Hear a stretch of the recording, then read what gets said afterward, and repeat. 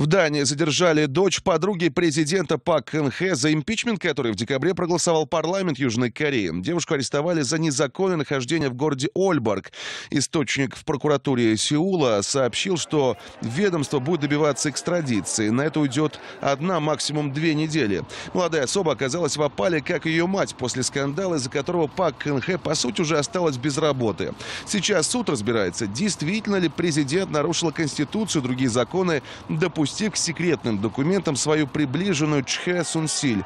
Последнюю также подозревают в том, что она вымогала деньги крупных корейских компаний, заставляя перечислять крупные суммы в связанные с ней фонды.